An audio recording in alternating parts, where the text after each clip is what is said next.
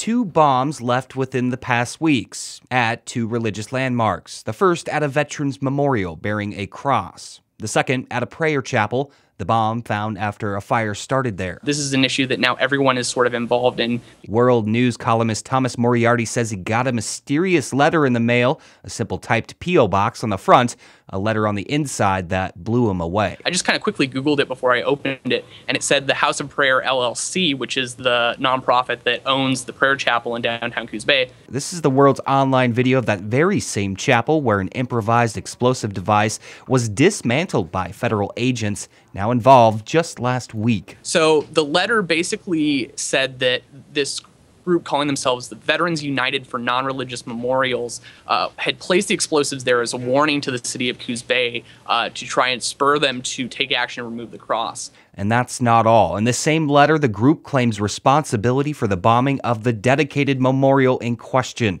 on August 22nd. Their issue is the cross on top of that memorial on public land. Also addressed in the letter are seven city council members, including the mayor and the city manager. The threats in the letter obviously extend now beyond just these memorial sites they're making threats against churches in general for people who you know may not even have been involved in this controversy at all while police have released a sketch of the person they think is responsible answers to who wrote the letter evade them even with the help of the FBI the source of the letters remain anonymous. The person who wrote them is promising further violence, leaving residents of Coos Bay on edge, and everyone asking who is this group and why are they doing this? They want the cross removed from Mingus Park immediately. At least one of those answers are clear today.